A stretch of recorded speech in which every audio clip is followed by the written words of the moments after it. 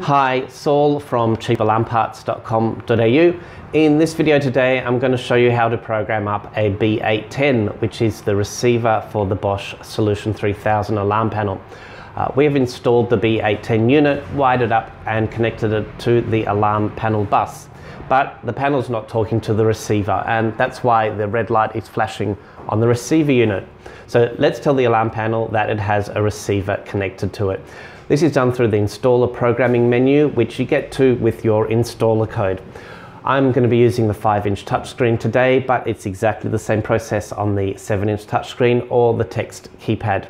So from the main menu, press your keypad button and enter in your installer code.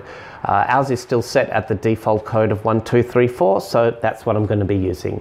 1234 hash and this takes us to the installer programming menu. So we're going to use the arrow keys to go down to system and press hash to select that item.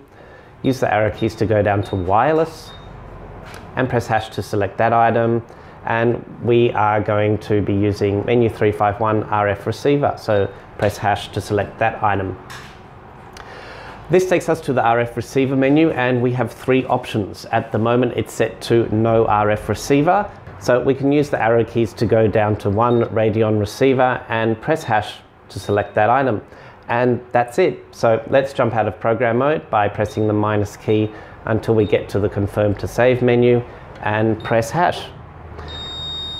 Now if you have a look at the B810 receiver, you'll notice that the red light has stopped flashing and that means it's communicating with the alarm panel and it is working. So you can now start programming in your wireless equipment, remote controls or wireless detectors. If you've enjoyed this video, leave your comments below. Please like and subscribe to our channel.